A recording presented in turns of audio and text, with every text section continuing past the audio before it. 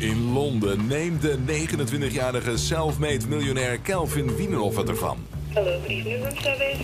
Hi, good evening. Hi, I would like to order some room service. Gewoonlijk verdeelt hij zijn tijd tussen zijn appartement in Engeland en het huis van zijn moeder in Nederland. Nu heeft hij, om even te ontspannen, ingecheckt bij zijn favoriete 5-sterrenhotel. Kelvin, kun jij eens vertellen hoe jij rijk bent geworden? Ehm, laten we bij het begin beginnen. Dus ik ben begonnen als model en websitebouwer. En toen heb ik eh, geld gespaard. En ben ik daarna gaan investeren in cryptomunten, bitcoins. En die heb ik op het juiste moment uh, uitgecashed. Ik heb 300 munten gekocht, eh, nee, 100 munten gekocht. Die waren toen 300 per stuk. begin 2016 ergens.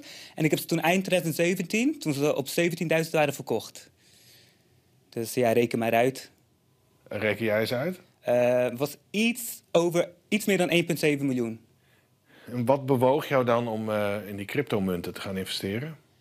Ehm, ja, dus het begon allemaal eind 2015, begin 2016 heb ik een spiritual awakening gehad.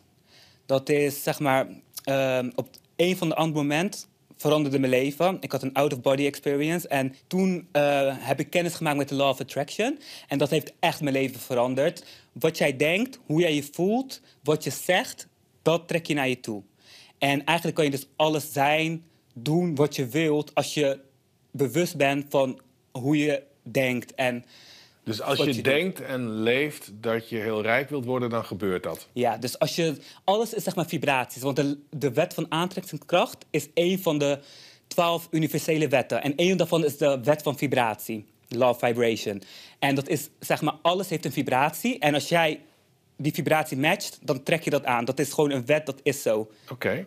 En die spiritual awakening, dat klinkt alsof het een moment was. Het was een moment, ja. Het was eigenlijk een, ik zat een, een beetje in een dieptepunt in mijn leven. Dus mijn relatie was net verbroken.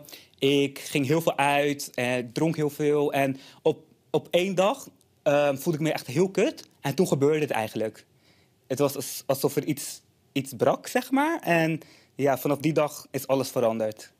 Wat, wat dacht jij toen dat brak? Wat, dat moet toch heel gek zijn geweest? Ja, het was, het was alsof. Het was bijna alsof je echt één op één in contact bent met het universum. Met God of het universum, of ik weet niet wat het is. Met een hogere kracht.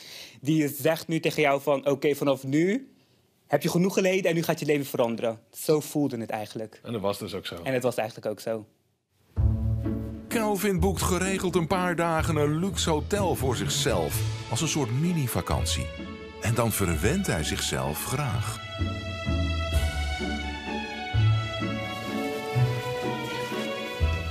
Hallo? Oh, hello. Hi. Yeah, you, yeah, you can, um, you can put it here if you want. Honger? De hele dag niet gegeten. Dan ben je rijk en heb je de hele dag niet gegeten. Ja. Ik kwam er gewoon niet van. Ik zat de hele dag in de spa. En eh, ja, ik dacht ik wacht wel vanavond lekker wat beste- bestellen op de kamer. Kelvin liep binnen met de verkoop van cryptomunten. Met zijn eerste miljoen vervulde hij zijn grote droom. Thank you, sir. Hij kocht een Rolls Royce. En nu het langzaam donker wordt in Londen, wil hij ons graag laten zien hoe mooi die is. Want deze auto heeft iets heel bijzonders. Dat is een eh, mooie bak, Kelvin. Dankjewel.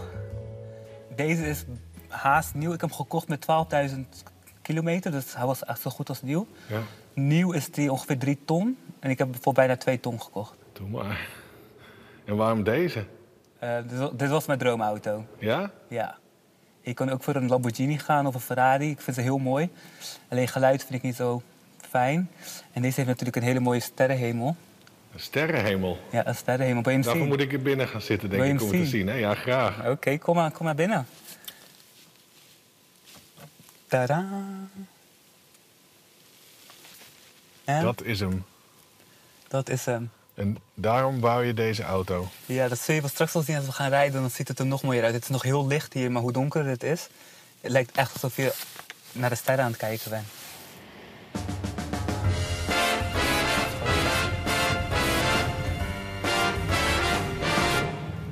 Dit was de auto die eigenlijk toen ik een normale auto had, een Peugeotje, zag ik mezelf al in een Rolls rijden. En dan komt weer de wet van aantrekkingskracht naar boven. Dat, voor mijn gevoel had ik altijd een roze. En ik wist ook eigenlijk dat ik, dat ik ooit een roze zou rijden. is gewoon omdat je eraan dacht. Omdat ik eraan dacht en omdat ik me ook voelde als iemand die in een roze zou zitten ooit. En kun je eens vertellen over toen je hem kocht? Hoe voelde dat? Ja, het, het- het voelde heel, heel mooi. Maar ik weet niet of ik gelukkiger was of blijer was toen ik die roze kocht dan toen ik mijn eerste auto had. Maar ik ben niet gehecht aan de Rolls Royce. Totaal niet. Ik vind het leuk. Maar zou die morgen gestolen worden, slaap ik geen dag minder.